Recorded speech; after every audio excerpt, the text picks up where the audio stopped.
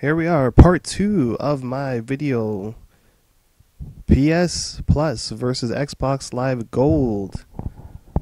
And why PS Plus is the better deal and why it's better in general. So, as you guys saw in part one, it was just uh, cut off there. Uh, here's part two. Uh, let's continue off from where I left off. So, as I mentioned uh, in uh, towards the end there, so right now, in comparison, it's Xbox Live Gold 12 months is $59.99. PS Plus is $49.99 for 12 months. And right now, they do have the promotion that ends until, uh, I believe, November the 8th, I believe. Um, actually, no, it says October 29th is when it's going to be ending. So, yeah, if you purchase it 12 months before that, you'll get 10 bucks in your PSN wallet uh, by the launch of, even before the launch of the PS4. It says uh, November 8th. So essentially, you're getting it for $39.99 at this time, in this moment in time. But the regular price is $49.99. So it's 10 bucks cheaper than Xbox Live Gold. And it includes, right now, 12 hit P- games for PlayStation 3 and 6 for PS Vita. Uh, new games every month. You know, there's discounts, like real discounts too. I mean, I'm talking about like games like 50% off. I've seen games like they say 75 here. Um, you know, they're actually saying 75% off of uh, games. But I've seen some, you know, that's actually legit. It's not like some fake stuff that they say like with Xbox Live. I mean, these are actually like new games, you know, that I saw in there that were on sale for really good prices. Um, I would say the only thing that Xbox did to come close to that was their summer sale events uh, this year that actually was was pretty def- was pretty decent. Um, but for the longest time, they, they weren't even doing it, and, and that's only just for the one summer sale. I mean, everything else after that's been garbage still. Um, so yeah, there's instant games uh, collection. So you also get 18 games, you know. So you guys can see everything there, all the accolades, pretty hilarious, and uh, other features.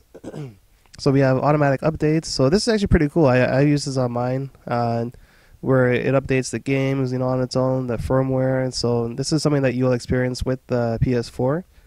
Um, you know, that's going to be on there. You got one gig of cloud uh, save data. So essentially, it's like same thing with the Xbox One, where you can access your game saves anywhere. Same thing with this. If it's if it's a digital game, you can access it anywhere, and your save information is on there full game trials. I mean, this is actually one thing that I think is pretty cool that the Xbox One X and 360 don't have is this full game trial. So you actually play a game uh, for up to one hour, the full game, absolutely full game. Uh, any achievements, uh, or sorry, any trophies that you get uh, in it, it will be carried on when you purchase the game. And yeah, it's pretty cool. There's also beta access on there. So yeah, it's pretty much everything for the PS Plus.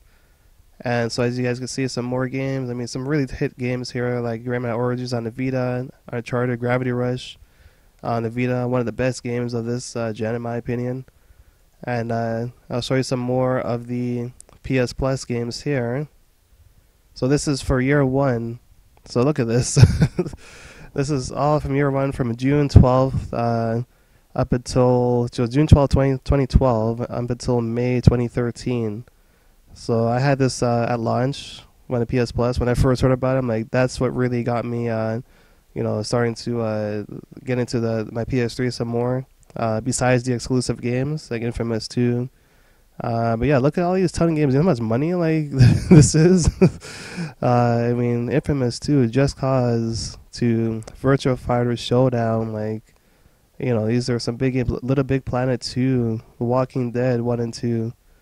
Um, you got Borderlands, Double Dragon Neon. That's when it first came out, Double Dragon Neon. I remember all of these games when it came out. So, so Double Dragon Neon came out and it was free. Virtua Fighter came out, it was free right away.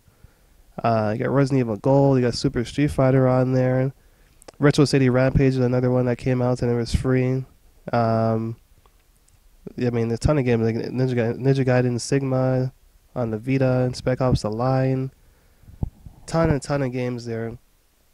And so you got all that for forty nine ninety nine, or even thirty nine ninety nine, or four nine ninety nine plus three months of uh, free, you know, free PS Plus.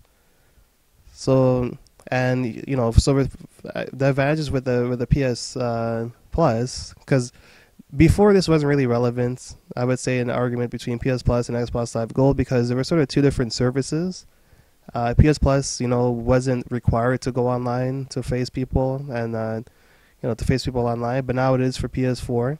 So that's why I want to do this video because now it's like you actually have to to get it, and you know before you didn't have to get PS Plus to play online against people on PS3, and uh, so now you have to with PS4.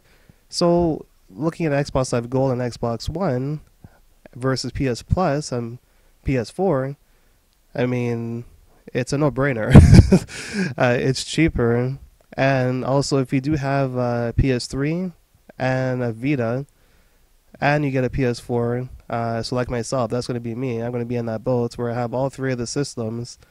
Um, I'm going to be getting free games for you know for all three of them every month.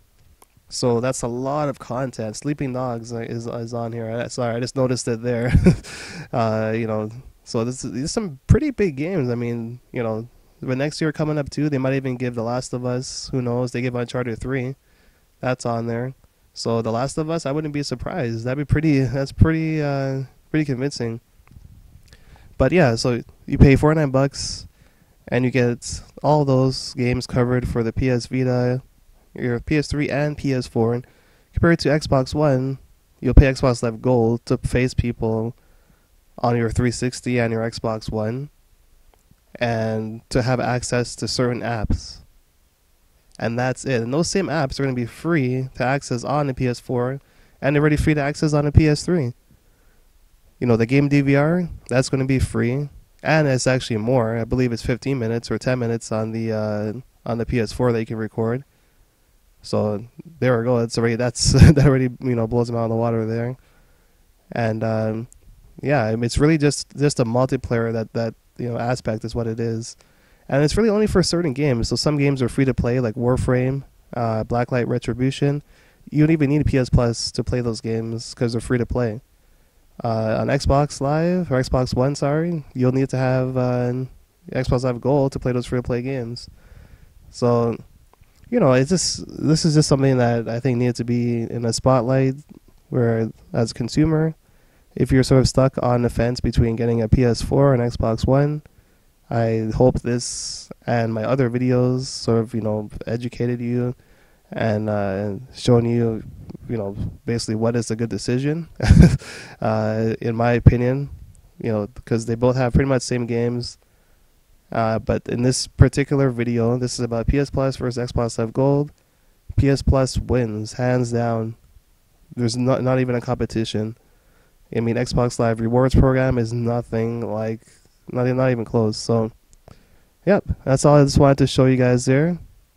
So hopefully, a lot of people that didn't know this know this now, and hope you guys enjoyed the video. Please check out my other videos as well about the PS4 versus the Xbox One.